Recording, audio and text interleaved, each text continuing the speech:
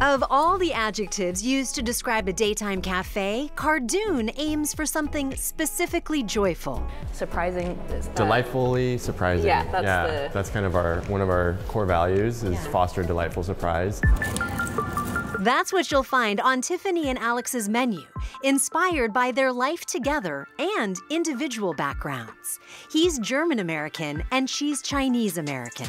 We started dating after um, uh, we went to a Chinese restaurant in uh, Oh, that's right, Chicago, yeah. and he was the one who ordered a dish, and I was like, "Wait, how does how does he know about this dish? This Right, right. rural Illinois boy." Cardoon highlights ingredients shared by both of their cultures, from spices and grains to proteins and pickles.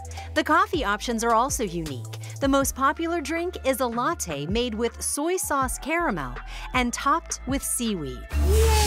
You can also indulge in a zero proof cocktail. I've been sober for a little over two years now. It's just really important to us to offer that and to offer a space for that. And there's just so many cool spirits out there now. The, the market is huge. For Alex and Tiffany and their staff, it's all a way to build connections. For many customers, the menu might be new, but it evokes a familiar feeling, no matter where they're from. And that means the world to us. If we can tie it to a fond memory, that means they're leaving the space in a lighter state. They're bringing that to the rest of the world.